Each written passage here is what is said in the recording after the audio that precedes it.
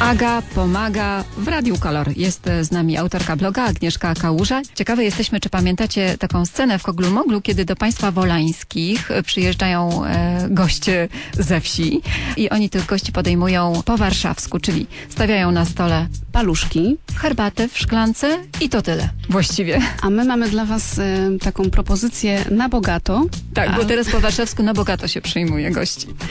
i proponujemy Wam krewetki na białym winie z cukinią. I to jest e, takie danie, które Agnieszka serwuje swoim gościom i oni są zachwyceni i zawsze biorą przepis. Także słuchajcie uważnie. Więc teraz szybciutko mówię, jak je przyrządzić. E, Krewetki oczyszczamy, e, na maśle klarowanym smażymy je z czosnkiem, chili, pieprzem, solą, oregano, bazylią, podlewamy je białym winem.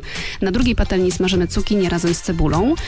Dorzucamy tą cukinię do naszych krewetek, dodajemy łyżkę śmietany, dorzucamy do tego makaron, który nam się wcześniej ugotował i podajemy ze świeżo startym parmezanem. A jeśli się tak stało, że nie zdążyliście zapisać, e, to jeszcze dziś ten przepis e, znajdziecie na stronie radiokolor.pl. Przepis na krewetki z cukinią. Na białym winie. He said, let's get out of this town.